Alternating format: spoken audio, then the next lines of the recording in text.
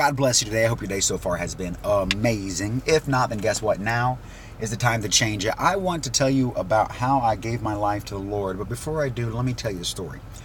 I knew this little boy. He was about four or five years old. He went to kindergarten every day, got dropped off uh, about noon, came home at 3:15, which is funny because his brother and sister came home at three, and he used to tell his brother and sister that he was at school longer because he came home later, and they used to get so mad at him because. Uh, obviously, they went to school at 8 a.m., and he knew that they went to school before him. He knew that they were there longer, but he loved to tell them that he was there longer because it just aggravated the snot out of his brother and sister. And they were seven and nine years older than he was, and he was never able to obviously uh, defend himself, but boy, he could aggravate him. And it just gave him a little bit of sense of control, a little sense of power. Um, and this little boy, he was playing on his kitchen set one day at downstairs in the basement, and uh, nobody was around, but he knew that his dad was supposed to be getting home sometime soon. Well, Dad hadn't showed up and he continued to play, and eventually he heard the garage door open, which means Dad is home.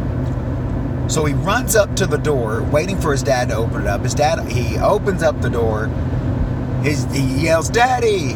His dad picks him up and throws him across the room. He lands, bounces off the wall, lands on the couch.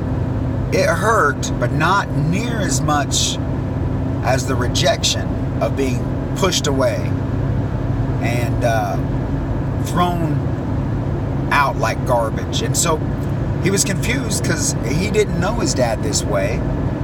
This was the first time he had been exposed to his drunken father's rages. Well, his mother was upstairs, his brother and sister as well, and they came running down the stairs. And mom and dad began to fight. The little boy didn't know it, but his brother and sister certainly did, and he and he was being held down. And his brother and sister said, "You cannot go upstairs." Little boy said, "Why?" He said, "Because mom and dad are fighting." And and he, the little boy, the insides of the little boy fell like a house of cards. It made no sense to him. How could it be that dad and mom, who love each other and love him, are are fighting? Well, eventually something must have changed because his brother and sister let him go upstairs. He runs up the stairs right into his mother's lap, who is at a table crying, and she pushes him away as well. He understood a little bit when his mom said, I'm sorry, it hurts too much. And he stood back and looked at her, and she was crying and looked bruised and somewhat bleeding. And that was the last night that he ever slept in the house with his mother and father in the same area. The next morning, bags were packed, the car was loaded, and they began on their way. Well, I share with you that story because when I ended up giving my life to Christ, He provided a stability for me that I never had growing up. I did not know what it meant to be in a house with loving parents who cared for each other. As probably you didn't either.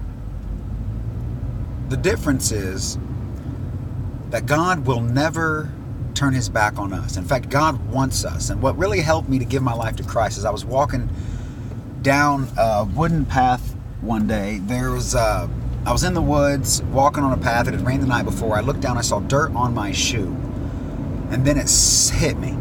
A scripture that I had tried never to learn when I went to church. That's right. I went to church a few times as a kid, and that poor kids teacher had her hands full with this young man because I did not want to listen. I did not want to, certainly did not want to obey her. Uh, but somewhere, scripture popped in my head that said, Ashes to ashes, dust to dust. Your body goes back to the dirt from where it came. And it occurred to me that my body is no different than that dirt on the ground, the dirt on my shoe. So, how is it possible that I am able to sit here and talk to you now? At the moment, I was thinking, how is it possible that I'm able to live and move and breathe if I'm just made of dust? And another scripture popped in my head, coupled with it. It said, And God took the dust of the earth and formed it into a living being and breathed life into it. And at that moment, I knew that God had chosen me because I am dust that breathes. God has chosen you because you are dust that breathes. I want to encourage you today to be willing to give your life to God because He chose you. And that's what hit me is that God wanted me. Where my dad had rejected me because of drunkenness, had thrown me across the room. Where my mother had had to push me away because she was too hurting. My Father in heaven knew me intimately, created me, and wanted me. And the fact that I existed was the only proof that I needed because I am dust, dust that breathes. And whose, whose breath is this?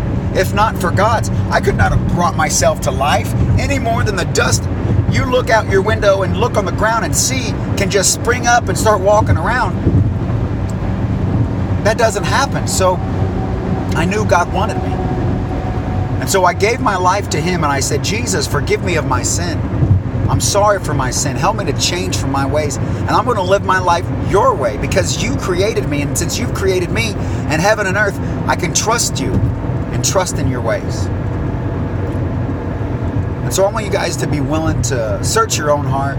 If you've never given your life to God, do so to now because He wants you.